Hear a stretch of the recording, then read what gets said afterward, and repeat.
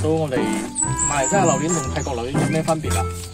所以馬來西亞榴蓮係樹上熟跌落嚟咯，泰國榴蓮係果落嚟咯，同埋熟嘅熟嘅巴仙數唔同咯。啊，泰國榴蓮係九十巴仙到八十五巴仙就果落嚟啦，我哋係一百巴仙熟跌落嚟，都都食都唔同咯，入邊嘅嘢都唔同咯。哦馬來西亞榴蓮有纖維咯，哦，同埋佢嘅好堅好堅味咯。喺角落啲就冇咩呢个嘢咯，一個甜味咯，哦。